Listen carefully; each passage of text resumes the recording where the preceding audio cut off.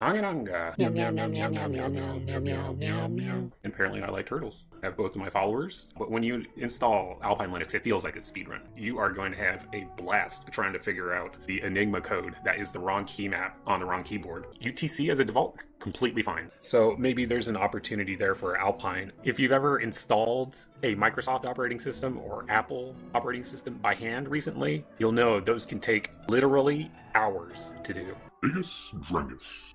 Debian is just a horrific experience trying to install. So I feel like slimming down the standard installer is a good thing. If you are using this personally, you should go with Crypt so that you have an encrypted disk. We're gonna blow it right out of the water Blow him out of the water, Dad! because that's what we're doing today. Daddy's handling this, it's okay. They're still doing serial boot process. It's not in parallel by default, which is unfortunate. So when I run an update, boom, it's done. And then we'll run the sway command to launch our graphical environment. This might feel like you're hacking the Gibson doing this, Come on, explode out of there. Stop the charade. Which I totally understand. You know, the Gibson doesn't want to be hacked. Does it not want to be hacked? Who knows? A special key plus enter. You press those buttons at the same time. Boom, you get the foot terminal. I prefer not running Chrome. I also prefer not running Firefox. But between the two, I'm going to go with Firefox. When I go into Firefox, the very first thing I do is add on uBlock Origin. If the NSA is saying, hey, you're going to get hacked if you don't use an ad blocker, then it's probably safe to say you should probably use an ad blocker, unless the NSA is using the ad blocker as a backdoor dark reader, because you don't want to get flashbanged unless you're into that. So this is another terrible thing about Firefox that I have to go through. Every time I have to go through every single setting. I look at every single setting and set them appropriately. And the reasoning is because one, they took the time to build telemetry, and two, they set it opt in by default, which is the absolute worst thing you can do. The Arch wiki documentation what do we have? What are we missing? What do we need? Your good deed will help everyone else. You do not get this in a closed source world. US proprietary companies. Two, what do they like to do? Layoffs. Who do they like to hire? H 1B visas. So there is no shortage of technical talent they're constantly being laid off. And if they're not like the cream of the crop, I feel like that's not what matters most of the time. What matters is the opportunity to support your community and growing. You know, if somebody likes to jump through hoops that are on fire, you let them do that. are you the flaming hoop police? As opposed to creating a new thing, which they like to steal in Redux. So if you want a community that will snipe any contributions you have, then there's Redux for you. So just trying to figure these things out, like lining up all the holes in the Swiss cheese, and then I remember, oh hey, I started configuring Firefox and I didn't get that far. See, and this is interesting. So they have a dark theme, website appearance, but it doesn't apply to the actual browser. As you can see, it's still that creamy, that creamy white color. It's like a, a never-ending freaking uh, mystery running some of these open source projects. And what you're experiencing basically is just the maturity isn't there yet. It takes time. More for Mozilla. I guess I need that setting. Look at our customized dashboard. You need your Microsoft feed. Get it here now in your start menu. Like, I don't want any of that. Who knows when a new version of Firefox comes out and they opt you into some other bullcrap. So it's like every time I install it, I go through it and I'm expecting there to be something there that wasn't there before. See, look at this. Send all this crap to Firefox. No. If you want my crap, pay me. Here we're sending our, our DNS over HTTPS. That's something I think everyone should be doing. I would like to offer DNS service over HTTPS. I don't know if that's through Wizards Anonymous or what, but that's an offering I would like to offer others because I don't really know what some of these places are doing. Like, if you want to knowingly join a botnet, you know, I'm not going to stop you. Hannah Montana isn't either. This, what is it called? What does David Attenborough do? You know, whatever he does, I'm doing what he does, just not anywhere near as good. These are all IP addresses of different public free, as in they will monitor everywhere you're going to and sell that. Now, the Quad 9 is the one that worked. So DNS is one of the most important things to get right when it comes to security. If you don't have that layer, you're effed. And the bind is D, special D. Everybody loves a special D. And so once you've uh, shoot your shot, then uh, oh well, thanks you for telling me to go to Facebook where they no longer do fact checking for misinformation. Thanks, Mr. Z. I'm giving it the old-fashioned reboot. At this point, I'm not certain why I'm doing a reboot, but I am. So RC parallel, it's the very first option in the config file. You change it from Node.js, and then everything is better. It breaks some stuff. Okay, what stuff does it break? I'm open to using any other Wayland desktop environment. Hopefully, Cosmic doesn't get wrecked. It's the only, well, it's written in Rust and it's a desktop environment, so it will be a first. It will be the first to someone on Mint or MX or, or I forget what the like, Bazzite, you know, people who use these things, they're going to tell you that Cosmic is trash. That's fine. They can use whatever they want to use. You know, this is the end. This is the end. This is Red Rock. This is the end. Is that what they say? Robot a dead man's dinghy. someone said they didn't want parallel to go in which would save you know hundreds or thousands or millions of man hours per year by booting faster their counter argument to that was the line doesn't wrap properly but you can't solve all the thousands and millions of man hours that have been removed from humanity because it's set to serial. We had a Honganunga, and then we got our Sway desktop environment, which was super simple to install. To install, one command, and then after that was Firefox, a terrible browser because it's like the reds versus blues. You know, you give them a really shitty blue option if you want them to pick the red option. This is a case where the red option is that Firefox.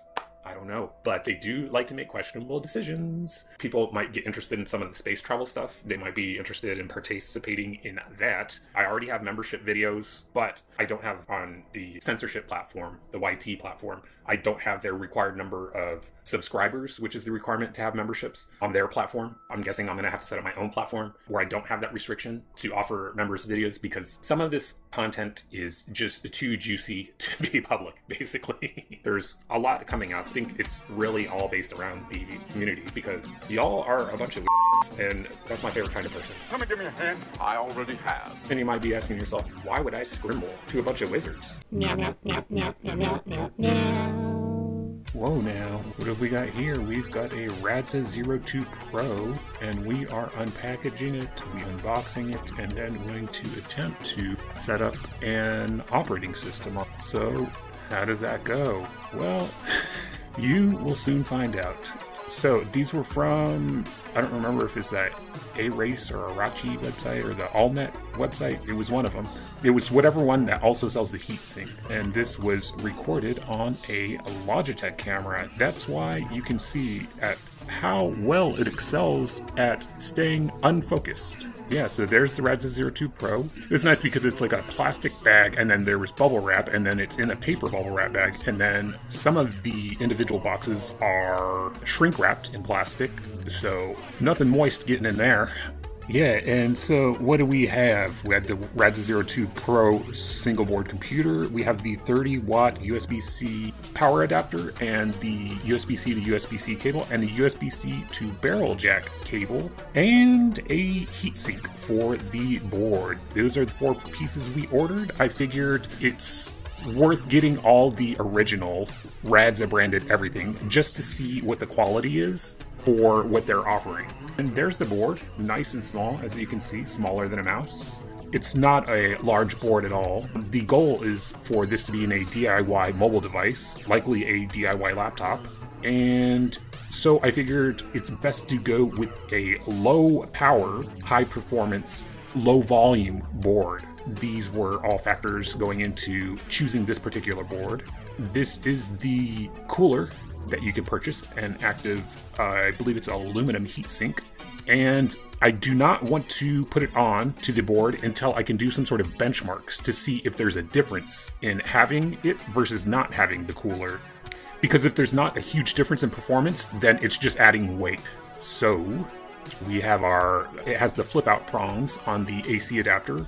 And the first thing I try out is the USB C to barrel cable here. And as you can see, there is no barrel jack. So yeah, you don't need one of these. This is likely going to get resold. I don't know where people resell things these days. Do they put it on eBay? Where they put it? Yeah, so that one is not usable.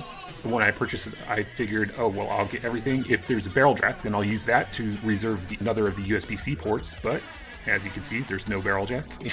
so that is completely on me. So now we got the USB C. And these, I believe, they are silicon cables. And we have the board plugged in, but not into power. We have to source a uh, AC power, and we have it plugged in, and there is a red LED. So, assuming the board has some degree of functionality, what we have here is a just a VM that we're going to have for pulling down basically the operating system or the, the image to put onto the board. And so, what do I do at first? I open up Ventoy's website, and then I realize that this window, this Firefox window in Sway, is still at crayony white. And so I do a search. Is there a way to put uh, dark mode in Firefox so that the actual whole window is dark? And then find a, a post on Reddit that says basically they're in the same situation and there is no system level dark mode currently in Sway, I believe is what it says. I should say this video was initially recorded, I want to say in August. Yeah, August 21st of 2024. So this was quite a while ago. This voiceover, the narration is in February of 2025 on the 17th. And yeah, so I'm going through trying to determine like, hey, is there a simple way of doing this? And it does not appear that there is a simple way to set a whole window to dark mode. At least at this point when I'm in my journey with Sway. Later, I find a way, but it's not consistent. It's like GTK windows, maybe you could set dark, but the QT windows don't go dark. It, it, it's like so convoluted. I, I don't, there's so many things I don't understand about Sway, but I actually have come quite a long way since August, since daily driving it after what happened with LXQT, uh, which will be in a later video. If you'd like that video to come sooner, uh, just uh, leave a comment. But as you can see in the video, the size of a quarter versus the single board computer there, the Radxa 02 Pro. And now I'm on Ventoy's website and I'm just like, what is going on? This website is so what's the word? It's not great. It's not great. And then I'm like, oh, well, is this dark mode that's causing it to look this bad? And so I turn off dark mode, and no, it's even worse. and so after that, uh, you know, I'm just looking around the website, and I'm like, these websites. This website in particular could be simplified so much. Uh, there's like so many links to different things that are not like uh, directly functional to users, and also something that I found was happening back then was my sway would just lock up, and I didn't know why. Why is sway locking up? I didn't solve this until today, basically, February 17th. And it's due to the, I believe it's due to the Alpine's ships a 6.12 kernel that has a bunch of issues with AMD processors where they just lock up. But you can APK add the Linux hyphen Edge kernel and then just APK delete the Linux LTS, the long-term support kernel, because that one is busted AF. If you're on an AMD processor, you're gonna your system's just gonna lock up randomly. Frequently, frequently. I was getting more than 25 times a day before I got this new kernel, and and I have to say thank you to Sertonix who was very helpful in the Alpine GitLab when I opened a second issue regarding this, trying to determine like what is going on. But anyways, back to this single board computer. So what I'm trying to do is figure out what the name is of the SD card that I have. And I'm also trying to pass through, as you can see, this is a virt-manager VM. I'm trying to pass through a USB or an SD card, I believe, I'm going to trying to pass it through two DVMs so that I can write Ventoy to it, and then I'm going to try to write an OS image onto Ventoy, and then plug the. If I'm writing this to SD card, I'm going to plug that SD card into the single board computer, or if I'm writing to it a USB drive, then I'm going to plug the USB drive into this board. That's my thought process at this point. And I'm trying to go through and figure out how to pass through virt-manager and not having the most success. I think I may end up yeah, we'll we'll see in a moment here what ends up happening. But yeah, going through and just trying to figure out how to do all these things. You know, it was uh, my first time, well, or maybe not my first time trying to pass through USB, but I was finding difficulty this time. See, and you can see there that I'm actually passing through the USB hub that has the SD card or the USB drive plugged into it, and it is you, you can see it right there physical usb device and it says the neuralsys which is the i believe the chip who that Anker uses in their usb uh, hubs. And here what happened? Uh, i am not certain but it could have been that the sway locked up again and due to the amd processor with that particular kernel version and we rebooted. So this problem was happening back in august which is good to know because it has not been determined until February 17th, and it's still in the long term support kernel for Alpine. This problem still exists there. On the latest version of Alpine 3.21.3, I think is the current version. Uh, in this video is 3.20.2 or something like that. And here I'm trying to figure out basically uh, why it's not mapping through to the VM. I'm trying to do everything contained into this particular virtual machine, and then as you can see, what happens is at this point I was daily driving NixOS. No more, no more. Uh, NixOS is uh, well, it's proven to after the hostile takeover, it's it's shown it's reared its head, and so we have, I believe, the SD card uh, no longer pass through to the VM. This is just straight up on the host system, which was running NixOS at that point in time as a daily driver, which I do not recommend. Maybe in the past I might have, but no longer. And so here we're trying to figure out what the syntax is now that we know what device the SD card is in or the USB drive. And we are trying to install Ventoy onto that drive, that disk. And it does appear to be an SD card that we're trying to write it to because the single board computer, it does have USB, but it also has SD card. And I figured, let's try, I'm, I'm assuming it's going to try to boot from the onboard eMMC storage. And if it doesn't find that, I would assume it would try to boot from SD card. And if it's unable to do that, then I would assume it's trying to boot from USB. This is all just guessing. I'm used to the BIOS world, and which is now UEFI. And I'm not used to single board computers. This is a completely new thing to me. And also, it's ARM on top of that. So it's a different architecture. So now it appears that we have Ventoy installed onto the SD card. And what we're going to do is copy over an Alpine. But as you may notice, that is the x86-64 architecture version that we we copied over. And we should have been copying the ARM version since this is an ARM processor. It is the ARM instruction set architecture. And we are going to try to get our SD card in there. But what else is happening? It appears that on the right, you can see the mini HDMI is plugged in for video. So we're going to, here we go, now that the screen is blank, it is what is likely being shown is the capture of the HDMI out. And so that's why the screen is black. It should this is showing what is coming out of that single board computer through the mini HDMI. Now we have power and we should be getting something on screen at this point. But what are we getting? Not a whole lot. As you can see, the size of the single board computer versus like a quarter or an SD card, mini SD, micro SD. I don't know what the, I think it's micro SD is what they're called.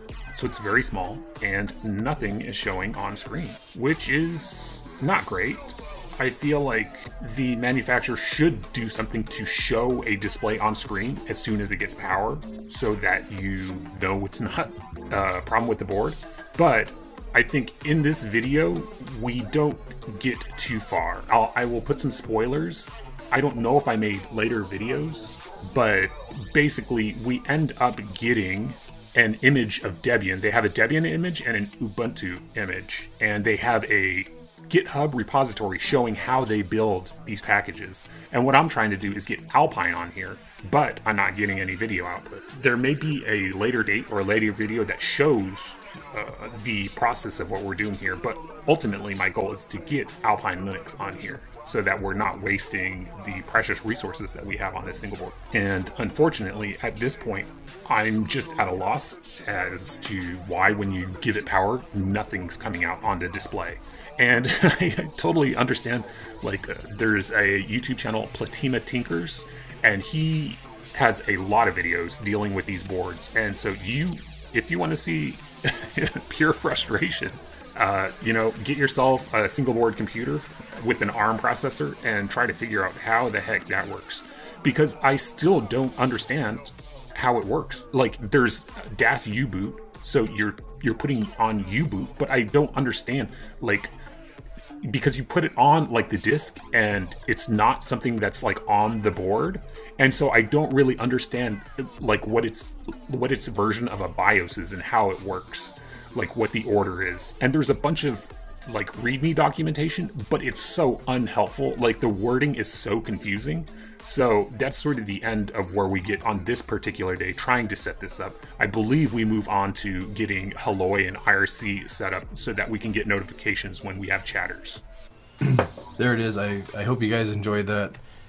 I am Fucked.